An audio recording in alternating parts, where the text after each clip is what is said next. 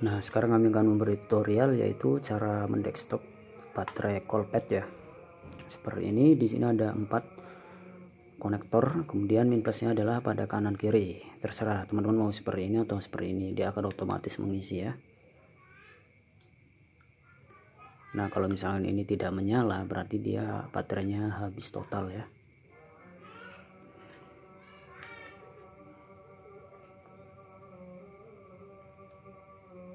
nah dia mengisi kedip-kedip. Berarti ini tandanya baterai masih sehat hanya saja habis total ya.